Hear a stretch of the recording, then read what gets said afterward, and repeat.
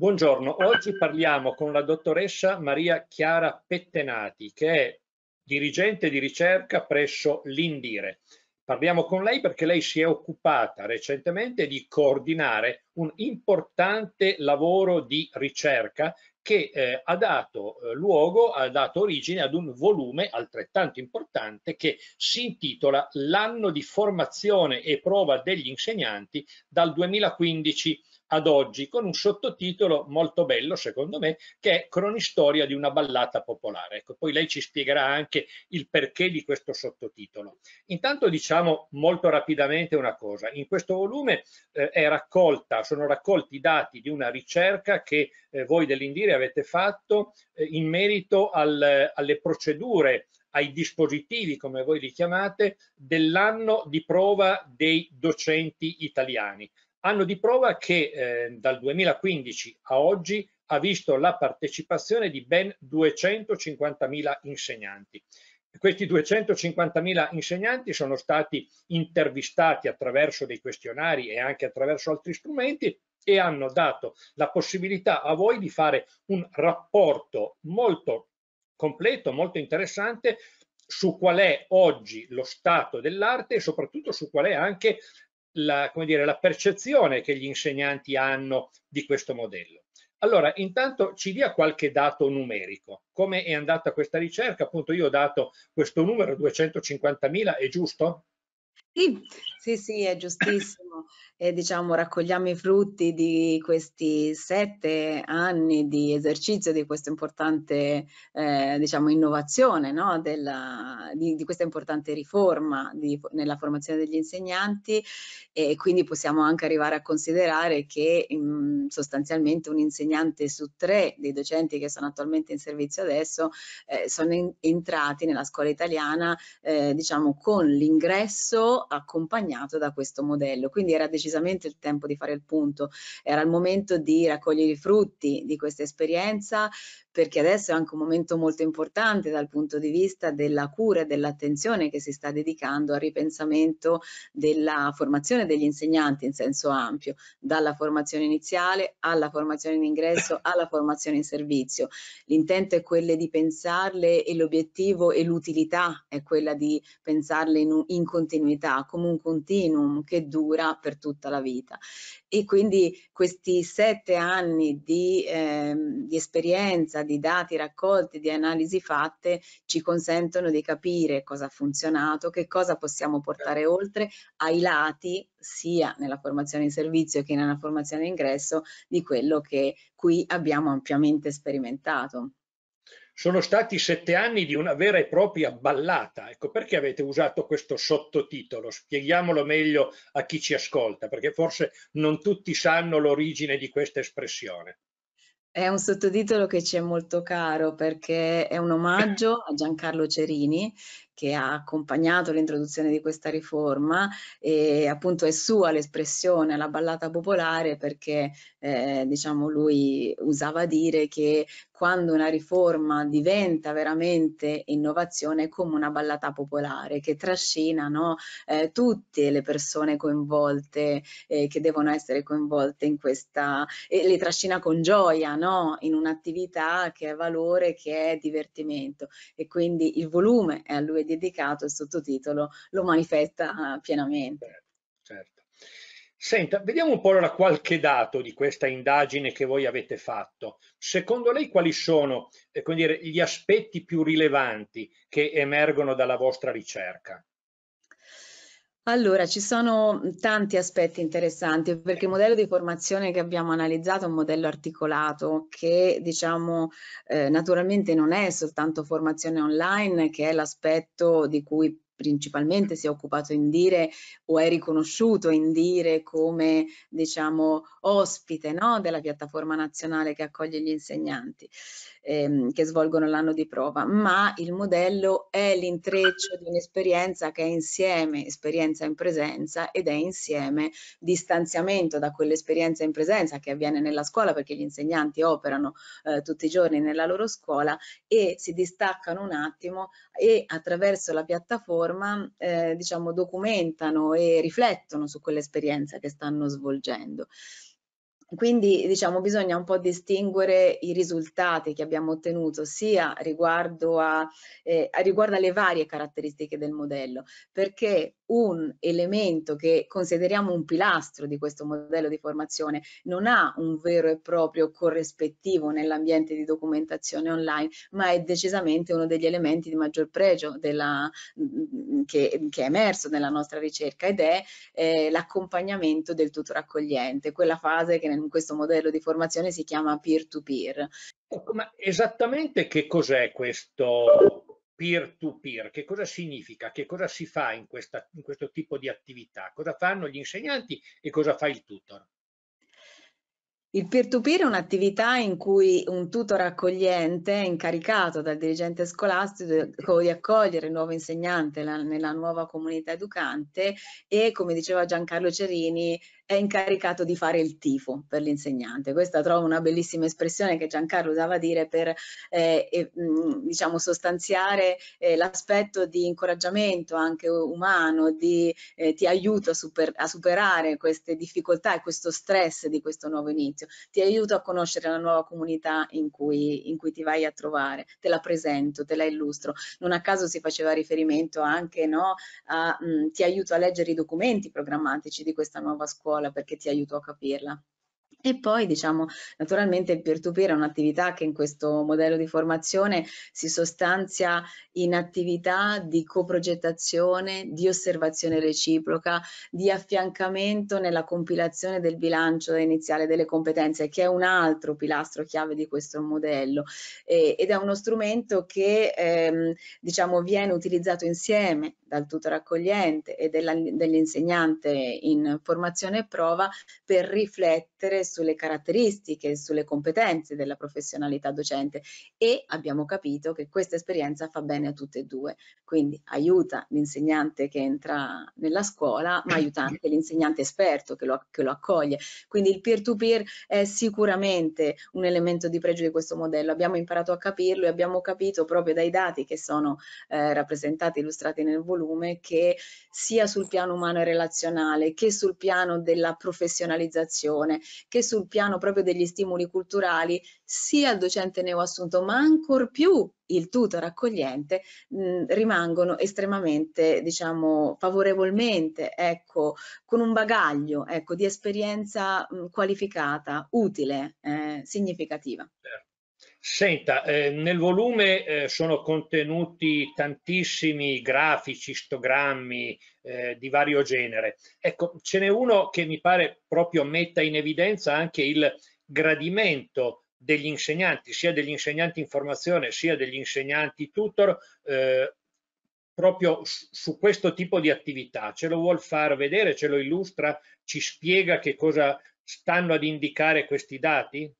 Ecco, vi faccio vedere questi due, questi due grafici che rappresentano il giudizio complessivo che il docente ha espresso sull'esperienza di peer-to-peer -peer e il corrispondente nel caso dei tutor. Qui abbiamo due annualità di rilevazione, 2017-18 e 2018-19, in cui abbiamo chiesto agli insegnanti in formazione prova se giudicavano utili nel complesso l'esperienza formativa riferita al peer-to-peer -peer, naturalmente.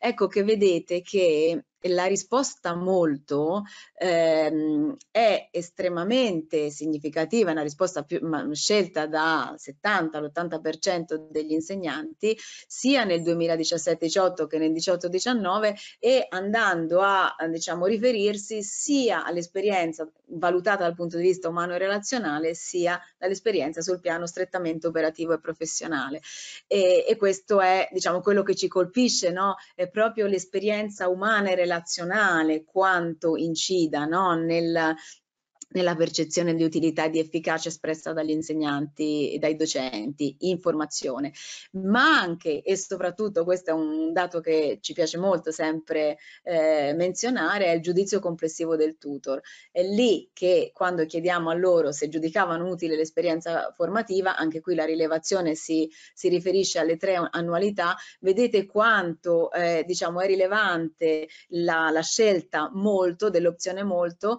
riferita alle caratteristiche umane e relazionali dell'esperienza, ma anche sul, sulle, dal punto di vista operativo e professionale, sul piano degli stimoli culturali. Abbiamo comunque la larga maggioranza dei tutor e questo ci fa capire che eh, I tutor sono pronti e sono, eh, gli insegnanti sono pronti a vivere questa esperienza di peer-to-peer ehm, in maniera formativa, come è nata? Ecco, inizialmente quando questo modello di formazione ehm, diciamo, ha cominciato nel 2015-16, l'interrogativo era ma sarà eh, opportuno o sarà benvenuta questa osservazione reciproca tra il tutore e il docente neoassunto, cioè saranno felici di aprire le loro classi, poiché no, sappiamo che nella professionalità docente c'è eh, diciamo magari questa riservatezza no, nel momento della didattica in aula.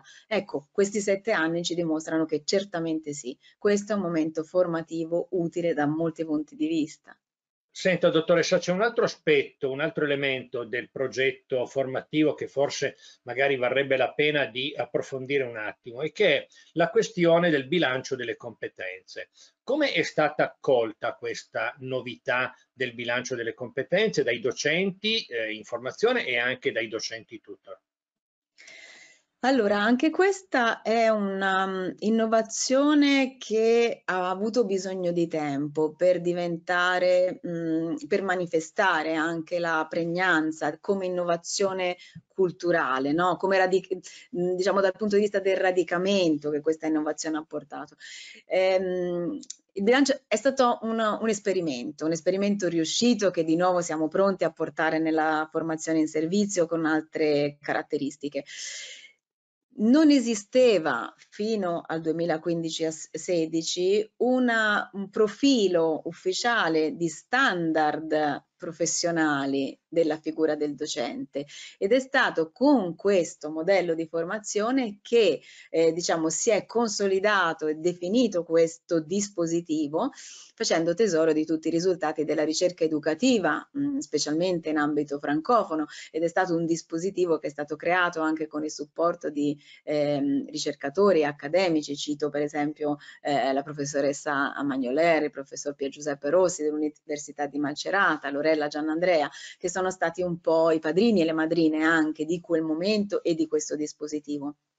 Questo dispositivo ha eh, descritto in indicatori, in aree di competenze, in standard di competenza, in indicatori, eh, il profilo atteso di un insegnante in formazione e si è pensato di introdurlo come strumento di autovalutazione.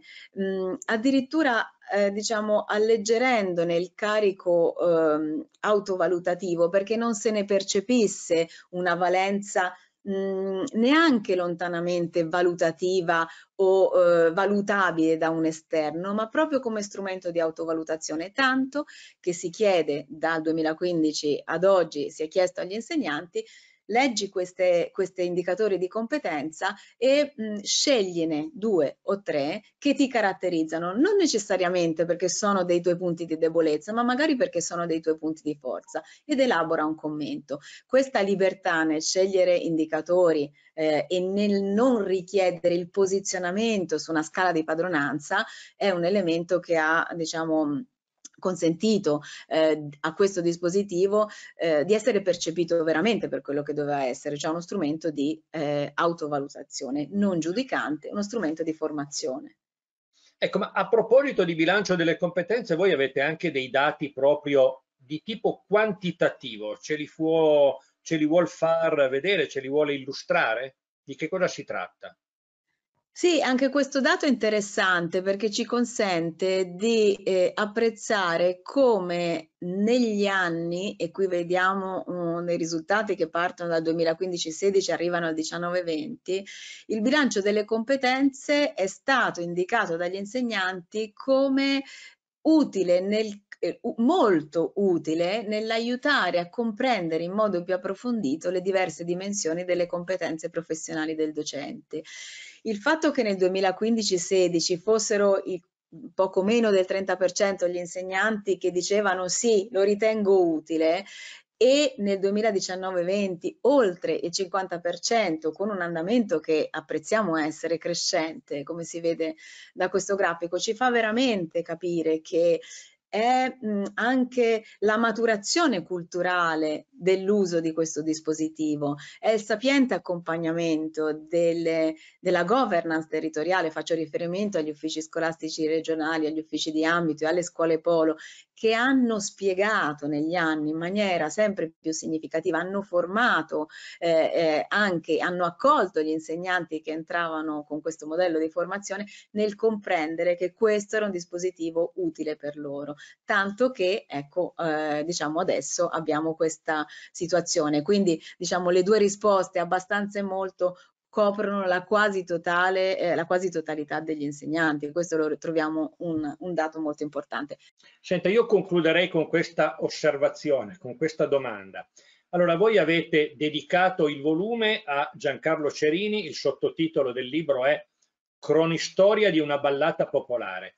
Senta, secondo voi Giancarlo Cerini, se leggesse, se potesse leggere i risultati di questa ricerca, sarebbe soddisfatto del lavoro che lui aveva messo in piedi a suo tempo? Sì, mi emoziona la sua domanda perché mi mette nella condizione no, di, di immaginarmi che cosa avrebbe detto o fatto alla luce di questo volume e lui avrebbe partecipato alla scrittura di questo volume e tant'è che appunto nell'introduzione dico proprio che è stato difficile scriverlo senza di lui, molto difficile, certo. eh, però sì, sono sicura che ne sarebbe orgogliosa e sono sicura che rilancerebbe oltre e questi elementi che noi abbiamo sintetizzato proprio anche provando a imparare da lui, no? cosa ci insegna questa esperienza e cosa possiamo portare oltre, eh, quindi sono certa che, che sarebbe molto soddisfatto di questi risultati. Ecco, ma secondo lei a Giancarlo Cerini che cosa sarebbe piaciuto in particolare di questo libro e degli esiti della ricerca che voi avete fatto? Cosa avrebbe apprezzato? Il fatto che siamo stati in tanti a ballare e che continuiamo a farlo. Bella, mi piace questa risposta. Eh, io credo che lui avrebbe anche apprezzato un altro aspetto, non lo so se posso permettermi di aggiungerlo. Da questo libro che voi avete realizzato emerge anche un dato molto interessante, cioè che uno degli elementi eh, importanti di questo modello è anche quello che riguarda le relazioni, quindi le relazioni interne alla scuola fra il docente e il tutor, fra il tutor e il docente, fra il, i docenti e il dirigente scolastico. Quindi credo che lui avrebbe apprezzato molto questo perché lui era un grande teorico diciamo della scuola come davvero come comunità di relazione, come comunità di educazione. Quindi io penso che l'avrebbe apprezzato. Dico bene? Sono d'accordo, molto d'accordo. Grazie ancora a Maria Chiara Pettenati e ci auguriamo di incontrarci di nuovo in occasione magari di una vostra prossima ricerca su altri temi oppure anche su approfondimenti di questo argomento che certamente è molto rilevante come abbiamo detto nel corso della chiacchierata. Grazie davvero.